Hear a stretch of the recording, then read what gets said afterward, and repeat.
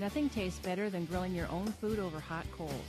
You can enhance that experience with an all-steel charcoal grill made in the USA.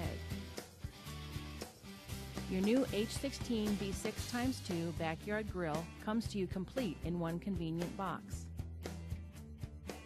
The firebox is die formed using 3 16 of an inch thick steel. The cooking grate is made from half inch and 5 8 inch diameter solid steel bars.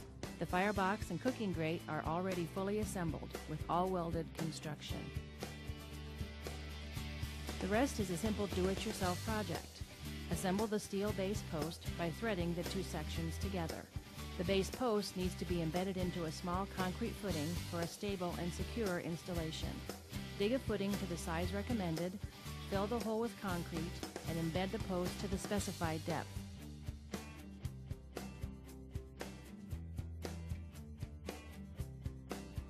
Once the concrete has properly cured, you can set the firebox on top of the base post. Your grill will rotate 360 degrees in both directions, giving you fire and heat control when there is a breeze. You also have heat and cooking control with the four-level adjustment of the H16 cooking grate. To build your cooking fire, just tip the grate up and back so it is out of your way. Load your favorite charcoals and light your fire.